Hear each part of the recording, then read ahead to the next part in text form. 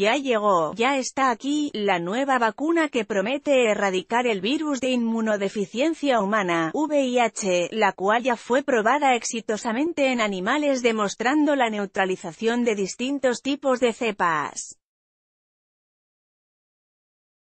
El siguiente paso es probarla en humanos, lo cual se tiene contemplado para finales de 2019, informó la revista Nature por medio de un estudio de investigadores del Instituto Nacional de Alergias de Estados Unidos de América. ¿Cómo funciona?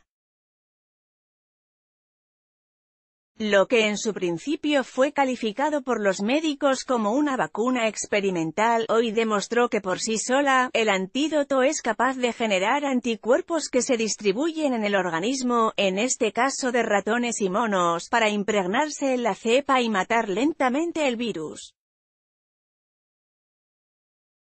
Basada en una estructura proteica en conjunto con los anticuerpos adecuados, el medicamento cobra la fuerza necesaria para contrarrestar y eliminar hasta una docena de cepas del VIH.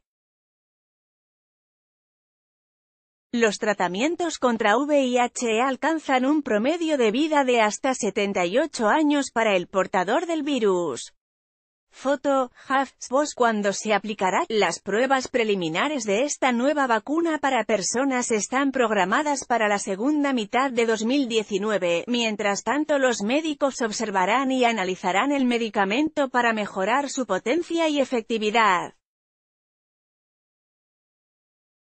Hasta el momento este ha sido el intento más eficiente y efectivo en el desarrollo de una vacuna que combata el VIH. Podría interesarte. Descubren que la marihuana puede ayudar al cerebro de las personas con VIH. Tener un perro de mascota ayuda a las personas con VIH. Fernando Castillo Articulista Internacional